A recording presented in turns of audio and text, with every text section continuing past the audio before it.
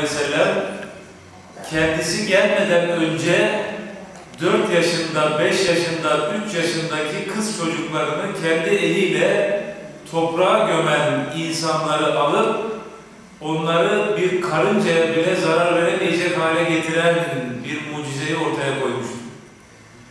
Peygamberimiz sallallahu aleyhi ve sellem bizim dinimiz insanlığa gelmeden önce o toplumda Mekke'de sonradan Müslüman olup Peygamberimiz sallallahu aleyhi ve sellemin en yakınında bulunan insanlar dahi 5 yaşında 6 yaşında kız çocuklarını toprağa gömerken onlardan utanırken bu insanları almış değil kız çocuğunu erkek çocuğunu bir karıncaya dahi zarar veremeyecek hale getirmiş. İşte Osmanlı döneminde Topkapı Sarayı'nı karıncaların basması üzerine yaşanan.